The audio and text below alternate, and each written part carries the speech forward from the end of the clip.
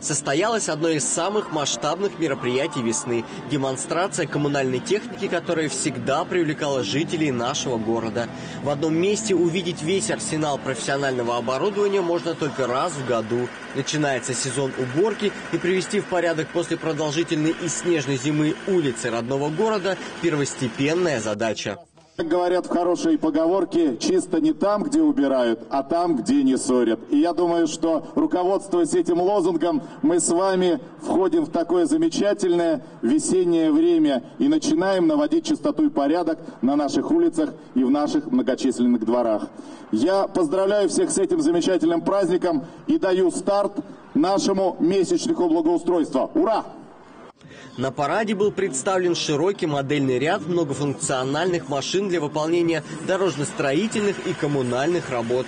Глава Ленинского района лично осмотрел представленную уборочную технику и даже некоторые образцы изучил изнутри. Разобрался в особенностях работы и удобстве управления.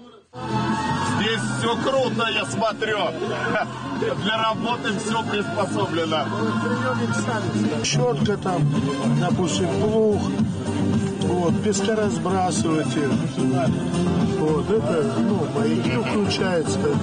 Здесь полив, все идет с этого пульта. Представленная на параде профессиональная техника в большинстве универсальная. Работает как зимой, так и летом. Перед новым уборочным сезоном требует переоборудования. Комбинат по благоустройству продемонстрировал свою готовность к продолжительной и бесперебойной работе.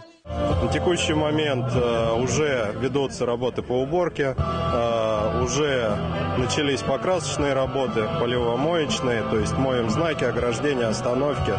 В ближайшее время приступим э, к замене необходимых деталей, то есть секций ограждений, стенок автобусных автопавильонов.